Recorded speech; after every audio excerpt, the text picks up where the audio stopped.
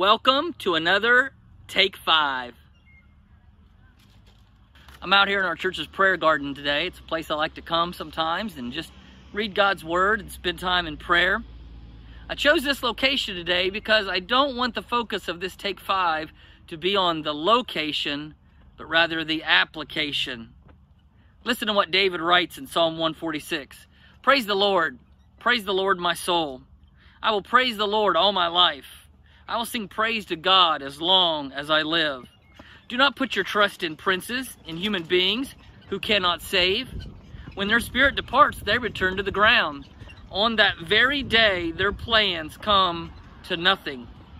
Blessed are those whose help is the God of Jacob, whose hope is in the Lord their God.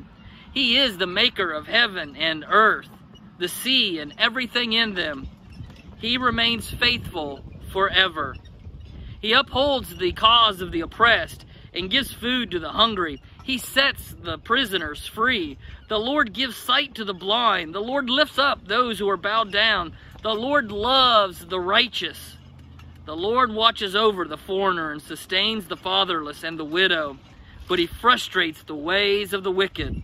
The Lord reigns forever. Your God, O Zion, for all generations, praise the Lord. I want to ask you today, are you spending daily time praising God? You see, this psalm makes it very clear. We have a God who is worthy of all our praise.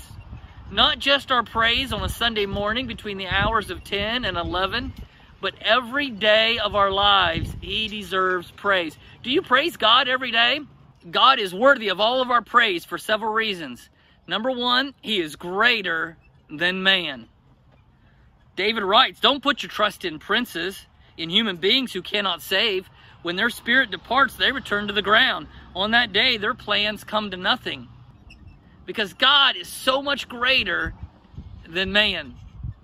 David says there's coming a day when every man departs this world. His body goes in the ground. Whatever plans he had, not anymore. And so our faith and our praise needs to be in God, not in man. Secondly, God deserves our praise because he made everything. He made everything. He says he's the maker of heaven and earth and the sea and everything that's in it. God is awesome. He has created everything. Every tree, every rock, every mountain, every river, and every soul is created by God. He's an awesome God, and so he is worthy of our praise. He is worthy of our praise because he has created everything. And then finally, he is worthy of our praise because God saves like no one else. Listen to some of the things that David says God is able to do. He upholds the cause of the oppressed. He gives food to the hungry. He sets the prisoners free. The Lord gives sight to the blind. He lifts up those who are bowed down. He loves the righteous. There is no spiritual captivity that God cannot deliver you and I from. If we're being held in captivity from sin, God can free us from it. If we are spiritually hungry, God will feed us. If we are spiritually blind, God can give us sight. If we are spiritually oppressed, God will raise us up. If we are bowed down, God lifts up those who are humble.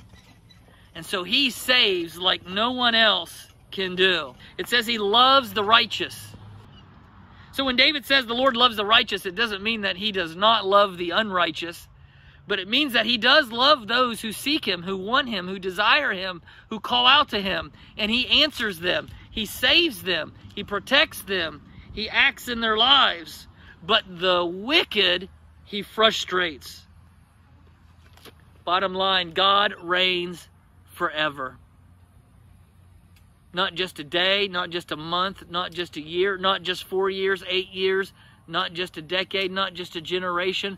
The Lord reigns forever, and He is worthy of our praise. He sets the prisoners, and I'm telling you what, I am getting bit like crazy here.